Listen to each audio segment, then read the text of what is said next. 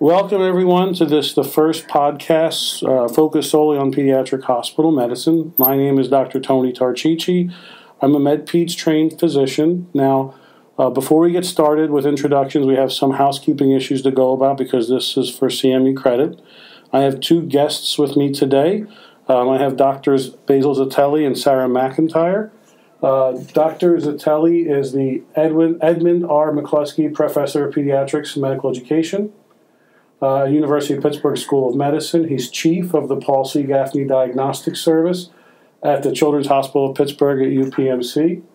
Um, in addition, he you probably know him as the editor of the Atlas of Pedi- Pediatric Physical Diagnosis. Dr. Sara McIntire is professor of pediatrics and a division member at the Paul C. Gaffney Diagnostic Service at the Children's Hospital of Pittsburgh of UPMC, and also one of the associate editor at the Atlas of Pediatric Physical for the Atlas of Pediatric Physical Diagnosis. And I am Dr. Tony Tarchichi. I am an assistant professor in the Paul C. Gaffney Diagnostic Service at the Children's Hospital Pittsburgh of UPMC, and I have uh, nothing to disclose. And Tony, um, I also have nothing to disclose. I have nothing to disclose also, Dr. Tarchichi. So there's a few reasons where I decided to create this podcast, focused focused solely on pediatric hospital medicine topics. First, as you all know if you're listening, the, the pediatric hospital medicine field is changing and growing rapidly. Um, very soon it has the potential to become its own board certified specialty. So I thought a podcast solely based on it would be a, a good idea at this point. And I do believe there has to be a lot of you that are similar to me, right? We we are physicians, we work, um, or we're healthcare professionals, we work, we have families, we have lives, we have activities we enjoy doing or want to enjoy doing. We also have other things that take our attention, such as house, buying food, and laundry, and things of that nature. And one of the things that, that for me is hard to get to is keeping up with uh, the medical literature. It is cumbersome and challenging and I do my best. One of the areas I'd like to take advantage of is the car, meaning my car ride to work and back is roughly 20 to 30 minutes. So I thought to myself, it'd be great if I could get CME credit for being in the car and listening to something that was good and entertaining and gave me uh, some knowledge I may not have had or reinforced knowledge I do have, which is why I created this. So I'm hoping that that's what happens. So this is our first po- podcast, and I ha- and it's on the history of pediatric hospital medicine. I thought since it was the first, we might as well talk about how we got to this place we're at, which is now becoming our own board certified specialty. Now, before you switch it off or decide to tune into something else, um, I have a pretty unique perspective on this, which I don't think has been talked about before. In fact, I know it hasn't. So, before we dive in, let's define a hospitalist because we all have to make sure we're talking about the same thing. One of the most common definitions used is by Dr. and if I pronounce, mispronounce anyone's name, I'm just going to apologize for him now because I'm going to do my best. Dr. Wachter, and he said physicians who spend at least 25% of their time serving as the physician of record for hospitalized patients who have been referred by primary care physicians and then who are referred back to their primary care physician at the time of discharge. And this came from his article in Medical Practice Management, 1997, Hospitalists in the Role in the American Healthcare System. So, typically, when anyone discusses the history of hospitalist medicine, both on the adult and the pediatric side, the first article that's referenced of starting it all is the New England Journal of Medicine, volume 335, number 7, 7 August 15th, 1996, which, believe it or not, is over 20 years old now, which is surprising, by Dr. Doctors Robert Wachter and Lee Goldman. And it's titled The Emerging Role of Hospitalists in the American Healthcare System. So, in this paper, now they forecast things that have come about. They discuss the anticipated rapid growth of the hospitalist physician, which has occurred. They discuss the parallels between ICU physicians in how doing only inpatient care for 12 months may lead to burnout. Also, on the premium that will be placed on clinical quality improvement and the development of practice guidelines. Additionally, they talk about the positive impact hospitalists may have on trainees or training. it's eerie or impressive, I guess, depending upon your perspective, how many of their predictions have come about. Now, let's take a step back. Worldwide, if we're talking about the whole world, there is some precedence to our system. Going all the way back to 1947, and remember this is two years after World War II, in the United Kingdom, there was a paper in the British Medical Journal by Dr. J.C. Spence titled The Care of Children in the Hospital, which at that point in the United Kingdom began calling for more specialized inpatient pediatric physicians. Now, that was a long time ago, and that's the oldest paper I could find on this topic. We know um, that the United Kingdom pediatricians serve more as a consultant role in the inpatient and the outpatient side, and their system is different than ours. So, then what about ours? Is that paper by Dr. Wachter in 1996 really the oldest? Well, I'm here to tell you I, I don't think so. And it's going to depend on your perspective, and I'm going to walk you through it. So I'm looking at a Journal of Pediatrics, June 1988. This is a paper titled Consultative Pediatrics A Role for the Generalist in an Academic Setting. The authors are Drs. Carlton Gartner, Dr. Basil Zitelli, Dr. Jeffrey Malatack, Dr. Andrew Urbach, and Dr. Robert McGregor. And we know one of the authors is here with us. I'm going to briefly discuss or, summarize the paper, and then we're going to talk to Dr. Zitelli and Dr. McIntire a little bit. So, this paper discusses the role of what they call the academic generalist. This is defined as a physician employed by the hospital who's a consultant for outpatient primary care physicians in the community. So far, it's sounding good. If the PCPs had one of their patients admitted, they could ask this academic generalist to manage their inpatient stay. And these academic generalists were mostly based on the inpatient side.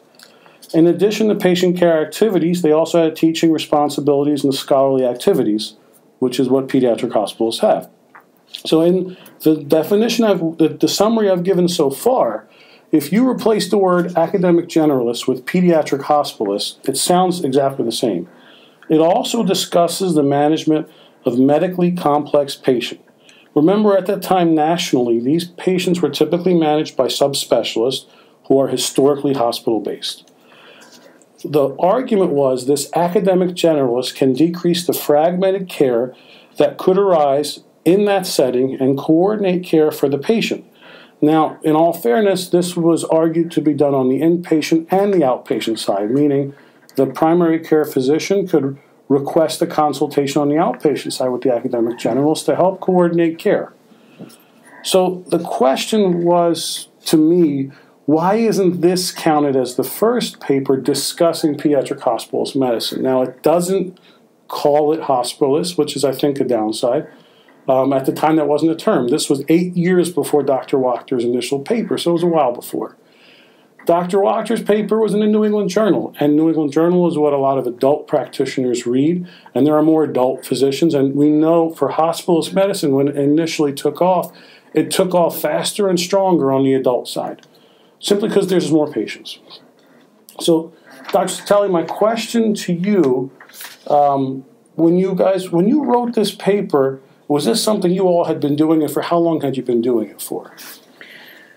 Well, we had been doing hospitalist work since the mid 70s. Dr. Paul Gaffney, who was kind of the founder of our group, uh, who was a hematologist oncologist by trade, but in fact was a superb general pediatrician as well, had hospital based practice for his hematology oncology. But because he was a superb diagnostician, pediatricians, uh, around Western Pennsylvania frequently referred their complex diagnostic patients to him for diagnosis. This was actually done both on an ambulatory as well as inpatient service. So he would admit the patients and evaluate them, come to a diagnosis, treat them appropriately, and then refer them back to the primary care physician. Notably, however, the ambulatory component occurred as well, in which patients were referred to him in his ambulatory clinic, and he would do the same on an outpatient basis and refer, ultimately refer them back to the primary care physician. He may follow them for a period of time, but ultimately he never replaced the primary care physician. he served as an ambulatory consult physician at that time. So this was the he had been doing it probably since the mid 1950s, and in the mid 70s he began taking on additional partners, and from that time, this particular group, our group, uh, has changed and evolved and grown over that period of time. So uh, take me back. We talked about this from the fifties. Take me back to this to the seventies or so. Um, are we the only? Were we the? Was this group in Pittsburgh the only group doing this, or were there other centers like this in the country where they would do manage the patient for the physicians on the inpatient side on the pediatric part? I'll be honest. I don't know if there were. I wouldn't be surprised if there were. We do know that across the country in major institutions that there were people like Dr. Gaffney who had that special expertise not only in a subspecialty but recognized as excellent general physicians and frequently had patients referred to them for non subspecialty issues or problems. So, in essence, perhaps they were the first hospitalists. Um, ultimately, as to whether a particular group was formed prior to the mid 1970s, if there were, they were very, very few in number. Okay. Thank you, Dr. Zitelli. Let me ask you a question then. Um, would you, what percentage of your work on DRG, going back to the 80s, 70s, however far you want to go back, what percentage do you think was inpatient versus outpatient? Well, that evolved over time. Um, early in my career, in the mid 1970s and early 1980s, uh, I had a somewhat greater proportion of ambulatory consultation activity than I do right now, for example. Approximately uh, at this time, uh, I would say probably 85% of my time is hospitalist work. Spent time in the hospital taking care of hospitalist patients. The remainder of the t- clinical time uh, is seeing patients in our diagnostic clinic.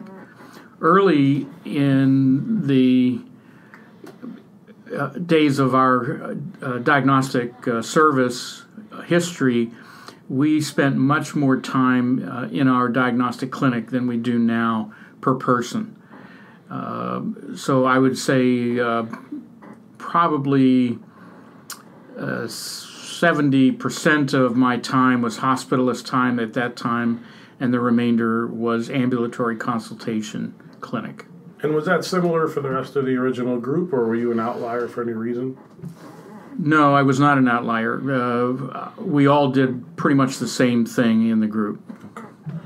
Um, now, now this is your paper you wrote with your colleagues, Dr. Garden, Dr. Urbach, and, and the others. Do you feel this paper is the first one really defining what a hospitalist is without using the word? Well, at that time, our review of the literature really did not indicate any other organized group uh, that had published their experience.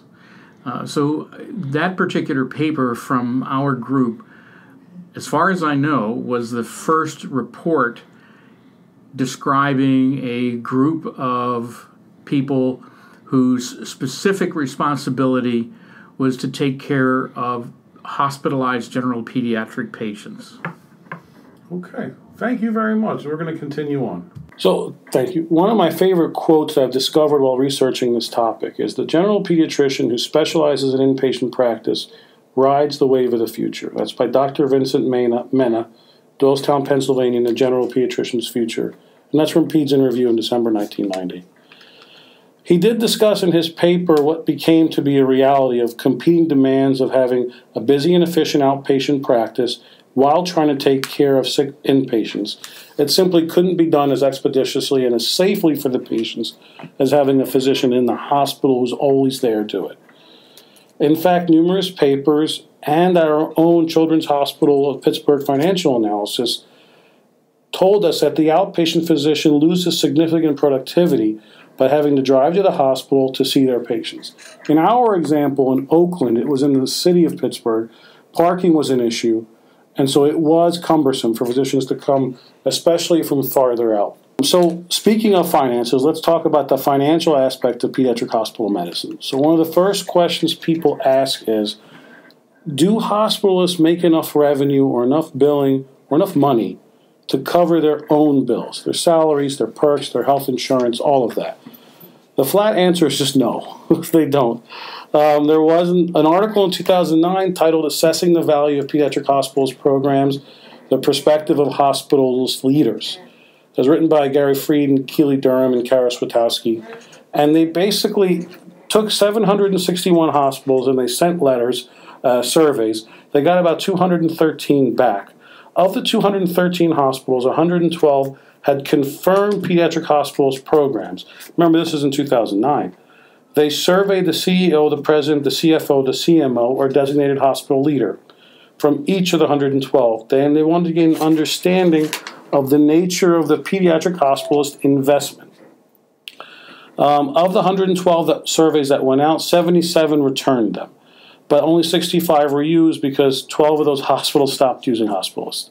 The results are interesting. 78% of the hospitals that have pediatric hospitals medicine are subsidized by the hospital, and they range from 30,000 to 1.765 million.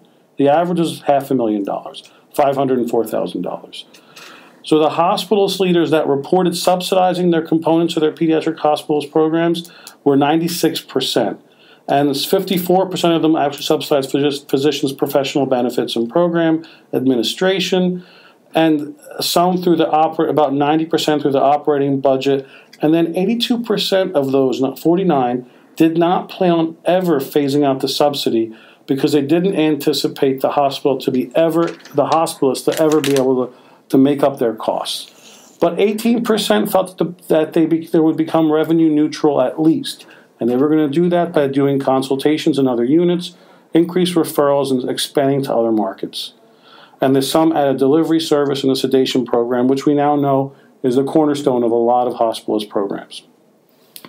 So let's talk about the interest in hospitalist medicine. Remember, that increased due to really starting due to the 2003 ACGME work hour resident restrictions. Um, and then in 2010, the ACGME limited first year residents more, and that's really when they began seeing an increase in hospitalist usage. So, since we're we've increased using it, we have to discuss in what areas has pediatric hospitals medicine proven to be better than the previous system. And to be honest, this was a question that was more important maybe five or seven years ago. At this point, it just seems that the horse is out of the barn. In our healthcare climate, I just I don't see us going back to the old system, which is a primary care physician would admit their own patients and come see them but it's just an interesting topic to talk about. So when you talk about it, you have to ask yourself what, how you're going to measure if a hospital system is successful. And the way it's done in the literature, they talk about length of stay, readmission rate, cost, and mortality. I, and when I examined this, I decided not to go farther back than 2004. And this is an arbitrary point, point in time just because I felt that the, the research was better after that. I'm going to quickly talk about a few studies and just bring up a couple of points, and then we're going to move on. So the studies I liked, uh, the, the one was by Conway et al. in 2006, and this is a national provider survey. It's done via survey. Everyone reported the frequency of use of diagnostic tests and therapies on a five-point Likert scale. They compared 213 hospitalists with 352 community pediatricians in their survey responses. What they found at that point was that hospitalists were more likely to follow evidence based guidelines for VCUG and renal ultrasound after a first UTI. This is back in 2006, and albuterol and ipratropium in the first 24 hours for asthma.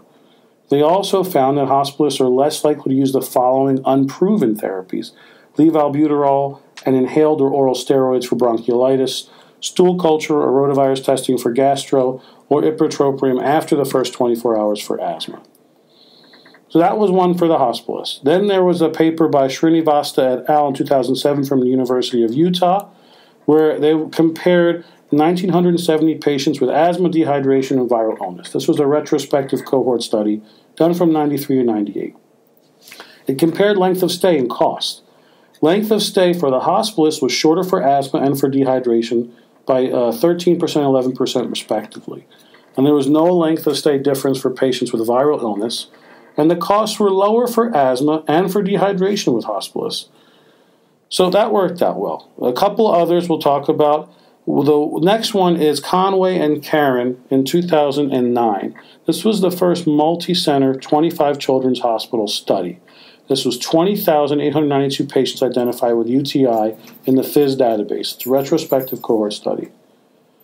In this one, they compared hospitalists with, at that point, still primary care physicians admitting their own patients, and they actually found no difference in cost, no difference in performance of evidence based medicine guidelines for VCUG and rule out ultrasound for the first UTI. This was one of the only ones, but this was the largest one that really that was done comparing the two sides and really didn't find a difference. And what what we've kind of and there was also an excellent review in the Journal of Hospitals Medicine by Grant Mussman in April 2012, which was the most recent review that I found, and I really liked it. Titled Pediatric Hospital Systems versus Traditional Models of Care The Effect on Quality and Cost Outcomes, which examined all the studies and, and more. And one of their findings, which I thought was good, was hospitals can improve the quality and efficacy of inpatient care in the pediatric population, but the effect is not universal, and mechanisms underlying demonstrated improvements are poorly understood. And I thought that was interesting because at this point, most pediatric hospitals have a large catchment area. Our catchment area, I believe, is all of western Pennsylvania, parts of Ohio, parts of West Virginia, parts of New York. And I was wondering if I could ask our guests has it always been this large, our catchment area, has it steadily grown over the past few years? We've always had a large catchment area. Children's Hospital of Pittsburgh uh, is the only tertiary or quaternary hospital for children in western Pennsylvania. So we always have had a very large catchment area. Um, so this, I think, has contributed in a great way to our ability to have hospitalists uh, and be able to provide care for children whose families live far away, whose primary care physicians cannot come and see the patient in the hospital. So for the PCPs that lived far, that, that worked farther away, my assumption is when when the DRG, the diagnostic referral group, started taking over, were they happy to give their patients over because of the length of the drive to the hospital and the sheer commute? I believe that to be the case. Um, many physicians uh, expressed to us um, individually that it was a relief, um, that they could send a patient in to someone they had spoken to um, who agreed to accept the patient and transfer, and who would then communicate with them by phone and by letter after the visit was over um, what had transpired. Now, and that's one of the things that, if you're looking at the research and literature, it really comes back to hospital systems need to be very local. So, what works in Newark, New Jersey, may not work in Pittsburgh. Works what works in Pittsburgh may not work in LA or Philly. And every every specific system, as you all know, has to address the concerns of the local PCPs and the community. Which brings us to one of our next points, which is for those of you who may be designing a new hospital system or looking at your model of call, which it's it's in the literature. It's something we've we've discussed and we've been talking about for a long time. So briefly, there's 24/7 call versus on call. Those are the types of model of staffing of a hospital service. The 24/7 model requires approximately five full-time equivalent hospitalists to provide a single coverage of a single team. There's no data to support the fact that having an attending in the house 24 7 would improve care, safety, and outcomes, but it does make intuitive sense. The on call from home model could be more attractive to hospitalists as weekend and nighttime burdens are significantly less depending upon patient volume and, and acuity. Um, and of course, nurse practitioners, PAs, and residents can help with this. If you're going to make a schedule, there's three basic models that are available at this point the traditional, the block, and shift work. The traditional model is Monday through Friday, 8, 8 a.m. to 5 p.m., and alternating weekends. This works well for academic centers, provides good continuity of care, and works well in the larger pediatric hospital settings. The block model is very popular with adult hospitalists, where you work 12 hours on, 12 hours off, increments of five to seven days in a row, followed by an equal amount of time off. And then there's shift work. Uh, what I wanted to discuss is our model uh, because it's a little different than other models I've seen.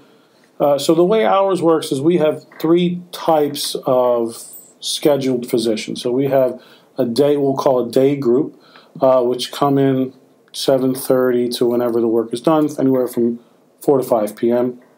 We have an evening hospitalist group, um, and that's a group of physicians that will work one out of four weeks uh, from 4 p.m. to midnight, uh, covering the later admissions, and then we'll work we'll work one out of four weekends, and then we have a, a purely hospitalist team, the Orange Team, and that's a five full-time equivalent physicians who cover one service. They cover one team together, but it's 24 7.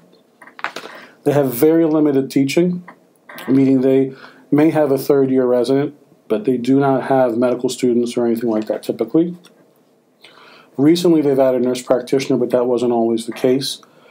And uh, when you're being, uh, when you decide to work for the diagnostic referral group, it depends on where the positions are that you may pick. Um, and the evening hospitalists, they only work one out of four weeks as on the evening, and the rest of the time they work during the day. So I, I guess uh, my first question to both of you is, when did that system start evolving like this? Well, Dr. Tarchichi, the, the system evolved according to the needs of the division in the hospital. And I think this is a universal phenomenon among hospitalist uh, programs. Uh, the structure of the program really is dependent upon the, the needs of the uh, of the hospital uh, and department. Initially, we had the standard uh, call from home uh, structure and model. Then the evening hospitalist program was developed, and so that began having more shift work in the evenings uh, during which they worked. The more recent edition of the limited teaching service or 24 7 Orange team required that we do pure shift work for covering 24 7. So, as the demands upon the group and the hospital changed, so did the call system. And so the call systems varied uh, among the different responsibilities of the various uh, requirements. So I will tell you from a, personal example, um, having the flexibility. So if you're if you're listening and you're designing or in the midst of designing or considering redesigning your hospital system in terms of the call, uh, the pluses of this system are you can pick what works best for your life. Um, for me specifically, I did the Orange team when I first arrived in Pittsburgh. My wife was a fellow, and our schedules were hectic. So I did a lot of overnights, which worked well at that point, picking up the kids and doing this and that. Um, and it was nice to have that flexibility. And then as that changed, I moved to the evening group for being awake more during the day. Um, and that flexibility, I think, is a plus. Uh, in a group that works well together, we have all covered uh, different aspects of the group uh, whenever there's someone out for an illness on maternity leave or anything, uh, which is nice. Collegiality helps. Uh, do you do you think the system, the way it is, has any negatives, Dr. McIntire? Well, I think there are always going to be uh, a few number of people who prefer to work nights for different reasons. But in general, I think doing overnight shifts um, is more of a downside for some people than it, than it is for others. Um, I think, given adequate time to rest in between shifts, most people accommodate very, very well. Um, I think the uh, advantage of the other structures, um, the, the other systems, is not working overnights. Um, and the presence of the evening hospitalist uh, shifts some of the burden for on call or call at home onto the evening people who are here and who are working.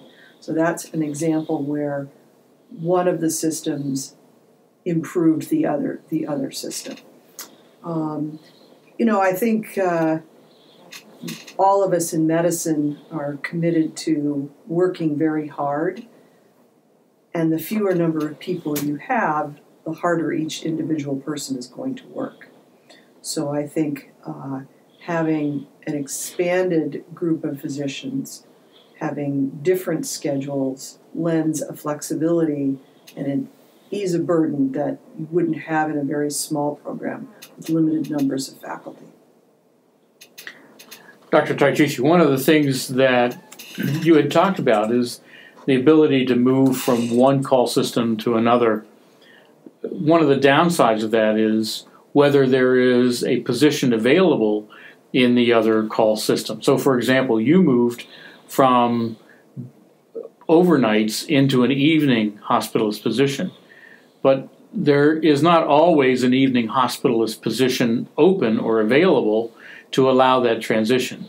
Uh, and so sometimes uh, people who, for family reasons or many other reasons, want to change their call may find it difficult to do that if there isn't a position open to move into.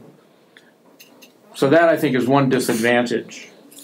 So that, and I think one of your one of your points that I would like to talk about for a second is how each system has to be specific for an indiv- for what's going on in the community. And a great example of that is a paper written in the Hospital Pediatrics, December 2015, Volume 5, Issue 12, by Christine Hrach and Carolyn Smith, and Carolyn Smith, successful implementation of a referral based academic pediatric hospital service. And the summary is I thought this was interesting because it was all borne out by highway construction. In St. Louis, there are three air, three hospitals where a child can be admitted. Uh, there's St. Louis Children's Hospital, and then there's the large community hospital, another academic hospital. Well, in 2008, there was a large highway construction which closed a major interstate, and it severely impaired access to St. Louis Children's Hospital. And at that point, private PMDs could still admit their patients there, and they would drive and admit. Well, with this new construction, it was going to be cumbersome, and the hospital themselves felt they were going to lose admissions to their competitors. So they developed this uh, consult service called SHARP, S H A R P, uh, they basically had they had a general medicine pediatric ward service.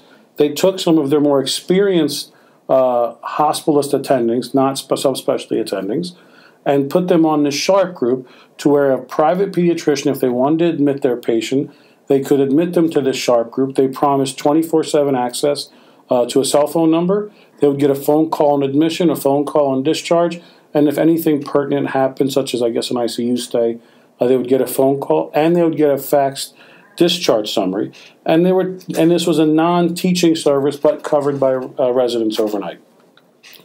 And at that point, then they compared this SHARP group to the traditional general medicine service, and I guess not surprisingly, the SHARP group had a decreased length of stay and decreased cost com- uh, compared to those admitted to the general medicine service. And I should I should say I omitted the general medicine service could have been and was staffed by subspecialty attendings for a period of time as well.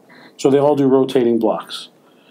Uh, and the cost difference was significant. The general medicine group had a cost of $3,062 per admission, whereas the SHARP group had $2,719. That's 2,719. The length of stay for the SHARP group was two days, whereas the general medicine group it was three days. I thought that was a nice example of how highway construction caused a change in uh, positive change for the patients. So let's talk about the future of the future of pediatric hospital medicine briefly. As you all know, the American Board of Pediatrics has recently approved pediatric hospital medicine to become a board certified specialty. The next step is the American Board of Medical Specialties, which is the overseeing body for all of the specialty boards, to approve that approval. Um, they had an open comment period till August 19th, and I believe their next meeting is in October. Um, and in October, we'll find out. They can either say yes or say no or table a discussion to a later time. So we will hopefully know something before the next calendar year as to what the American Board of Medical Specialties will say. As a historical point, they've never said no to the American Board of Pediatrics. It doesn't mean they can't, it just means as of now, they haven't, so it will be a first. I think we're running out of time for the show. I did want to ask Dr. McIntire one other question, and there wasn't a good place to put it in, so I'm just going to ask you. So, in terms of pediatrics, pediatrics has been and is known as a, a female friendly specialty, whatever that means, in terms of scheduling, in terms of time off from maternity leave, and in terms of part time work available. Has that always been the case? So, when this group was started and in the beginning, or just in general, has that has pediatrics always been that way? Honestly, I would have to say that the culture of work when I arrived here was more traditional in that uh, everyone was expected to work full time, work a lot, and